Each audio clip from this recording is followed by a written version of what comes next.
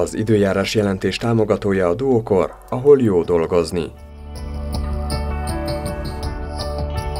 Pénteken sok napsütés ígérkezik, délután északon, északnyugaton növekedhetnek meg a gomoly felhők, és legfeljebb itt lehet egy-egy záporzivatar. A délies szél a Dunántúlon és északon megélinkülhet. Hajnalban 15-22 fok várható, napközben pedig 31-38 fokig melegszik a levegő.